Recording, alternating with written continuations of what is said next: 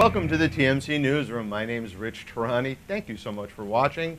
Uh, we are coming to you from San Jose today, and on our program is Sunil Cherian, who is the VP of Product Marketing at Array Networks. Sunil, hi. Hi, Rich. Nice to meet you. Nice to meet you too. So, uh, could you give the viewers a quick overview of your company? Yeah, certainly. Yeah, thank you for the opportunity. Sure, our pleasure. Uh, Array Networks is in the business of delivering applications securely to users anywhere, anytime. And we started off 10 years back with uh, next generation of load balancing devices for web applications to make sure the applications are available 25 by 7 and make sure load can be distributed. And our uh, value proposition was that we can do it with less servers and we can do it more securely and more efficiently and the users will have a very fast uh, web browsing experience. And that platform that we developed, we went on to add uh, remote access VPN technologies. We went on to add uh, remote desktop uh, browsing capabilities that allows you to control your machines from anywhere. And how have you seen the market changing in the last few years? The, we've seen ups and downs uh, in the, uh, and la last 10 years has been a very interesting. Oh, that's for sure. In tech and telecom, I, I can't imagine any industry has seen what we've seen the last uh, 10 years. Yeah. And when we started off in 2000, we were in the uh, height of the dot-com boom.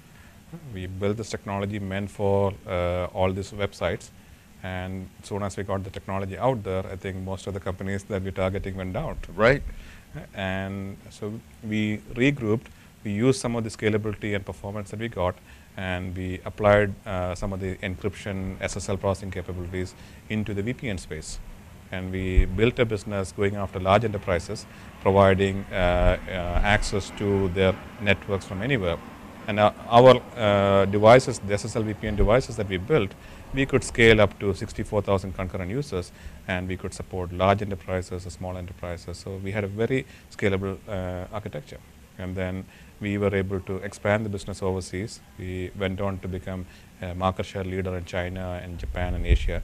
And we were able to get an IPO done uh, recently. Uh, and so uh, company is in a good position. Uh, we have moved up and down with the uh, vagaries of the economy, and we are here standing and looking forward to support an even larger customer base. Congratulations. Thank you. Now, I uh, had a chance to uh, do a really quick, it was probably one of the fastest demos I've ever done. You had an iPad app that we just rapidly downloaded. You want to talk about that briefly? Yeah, I, the, uh, one of the uh, innovations that we have is this product called Desktop Direct. The concept behind Desktop Direct is most of the users who are using VPNs or other remote access technologies, usually uh, they are given laptops they work from home. Sure. They download a VPN client and then they work from, sometimes it works, sometimes it doesn't. Sometimes it works through firewalls, right? And uh, the 10 to 15, maybe 20% of people who are salespeople, executives, they're ideal for them. But some issues with it is uh, over 12,000 laptops are lost or stolen in US airports every single week. The cost to support a laptop uh, as compared to a desktop that stays in the office or laptop that stays in the office. It's $3,400 to support a device in the office. It's 7,012 to support a device that leaves the office every year. So uh, we said there must be a better way because 80% of the people who work in the office 8 to 5 or 9 to 6 and they really don't uh, want to deal with technology. Right. They just want to do their work. Sure. The simplest way to put, give them access to uh, their work environment is to put them on their office desktop. Sure. So we leveraged uh, some of the remote access technologies and we built it such that you log into a browser, use your, every, use your everyday credentials, two-factor authentication or username, password, and gives you a portal. Portal gives you an icon that shows the desktops that are registered to you. You click on it. If the machine is powered down, we can turn it on remotely for you.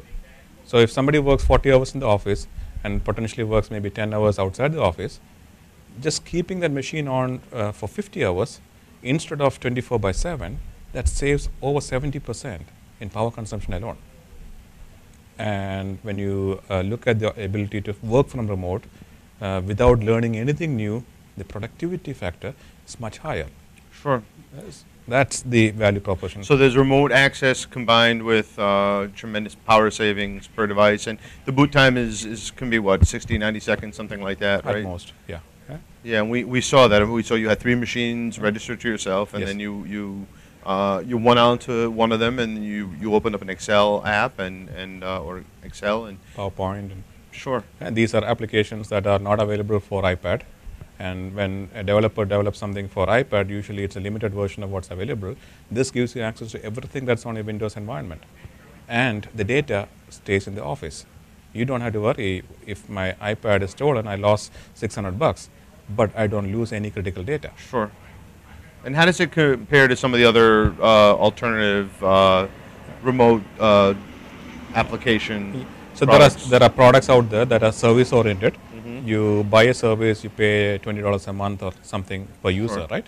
Yeah, so for a single user, the services may be educate. For an enterprise, uh, the moment you put 10, 15 users, the monthly bills are supporting it versus the cost of buying a hardware that you own forever and you have it in a network.